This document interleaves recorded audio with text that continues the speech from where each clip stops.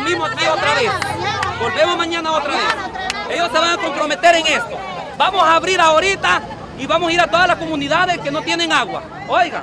Residentes de al menos cinco comunidades aledañas a la carretera que de San Salvador conduce hacia Comalapa bloquearon la mañana de este viernes el paso vehicular sobre la zona conocida como Rancho Navarra para protestar por la falta de agua potable como siete comunidades las que estamos afectadas y el caso es que siempre nos tienen con la misma mentira, que los pozos los están arreglando, que los están limpiando todo, así que y nunca nos echan el agua y los recibos ahí están pues siempre. La protesta que inició a eso de las 6 y 30 de la mañana provocó un serio congestionamiento vehicular en la zona y no se disipó hasta que llegó un delegado de ANDA quien expresó que la institución ejecuta varias obras que beneficiarán a estas comunidades. Nosotros tenemos un sistema bastante problemático aquí y eso como ANDA lo aceptamos.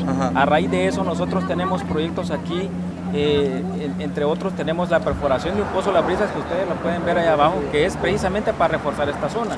La comunidad ya conoce este tema.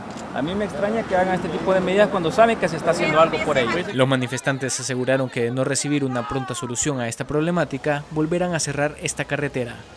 Informó para la prensa gráfica.com Milton Jaco.